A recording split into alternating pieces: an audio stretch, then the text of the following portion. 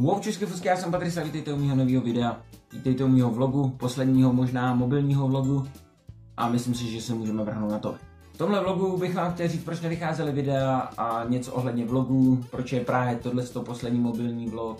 No, poslední mobilní vlog je to z toho důvodu, že mi nevyhovuje kvalita zvuku a zrovna u tohohle telefonu mi moc nejde jack, takže nemůžu připojit ani jakýkoliv telefon, třeba Rode Smart nebo si koupit nějaké levnější, abych se dostal aspoň na trochu lepší kvalitu tak jsem si říkal, že bych vzal kameru, kterou jsem použil například při Amsterdam vlogu nebo při challenge jedno slovo a že bych vzal diktafon, který si řeknu kytaristovi z jedné kapely, který ho má půjčený a právě se vydá s Lukášem, že by mohl vrátit a já bych v podstatě ho nějakým způsobem mohl připevnit na kameru já budu mít tak o 50% lepší zvuk, můžete to najít na mém kanále ve videu, co jsem dostal k Vánocům, tam jsem to zrovna testoval.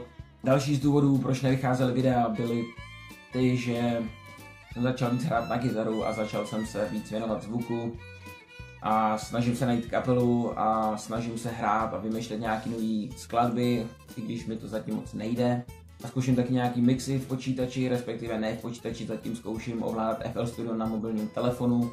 A chci dělat nějaký mixy nebo respektive nějaký jako elektro nebo nějaký house nebo nějaký party club music nebo když už tak třeba psytrance, když už bych nedělal tu metalovou hudbu s tou kytarou, taky bych si chtěl někdy pořídit v budoucnu elektrický bicí během několika pár měsíců a pak už bych mohl vlastně nahrávat si sám celou skladbu, protože hraju na kytaru, bas kytaru mám, to je to je vlastně podobný trochu jako kytara, pak se naučím trošku na bicí ještě a vlastně pak jenom zpěv a můžu už se hlavně učit nahrávat.